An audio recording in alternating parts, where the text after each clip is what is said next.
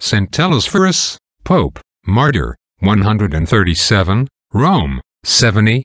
Pope Telesphorus, died 137, was the Bishop of Rome from 126 to his death 137, during the reigns of Roman emperors Hadrian and Antoninus Pius. He was of Greek ancestry and born in da Sibari, Calabria, Italy. Telesphorus is traditionally considered as being the eighth Roman bishop in succession after St. Peter. The Liber Pontificalis mentions that he had been an anchorite or hermit monk prior to assuming office. According to the testimony of Irenaeus, against heresies, he suffered a glorious martyrdom.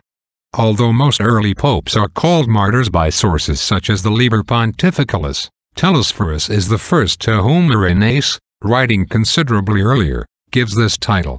Eusebius church history places the beginning of his pontificate in the twelfth year of the reign of Emperor Hadrian 128 to 129 and gives the date of his death as being in the first year of the reign of Antoninus Pius 138 to 139.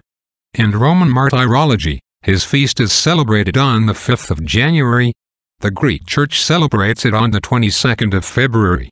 The tradition of Christmas midnight masses, the celebration of Easter on Sundays, the keeping of a seven-week Lent before Easter, and the singing of the Gloria are usually attributed to his pontificate, but some historians doubt that such attributions are accurate. A fragment of a letter from Irenaeus to Pope Victor I during the Easter controversy in the late 2nd century, also preserved by Eusebius, testifies that Telesphorus was one of the Roman bishops who always celebrated Easter on Sunday, rather than on other days of the week according to the calculation of the Jewish Passover. Unlike Victor, however, Telesphorus remained in communion with those communities that did not follow this custom.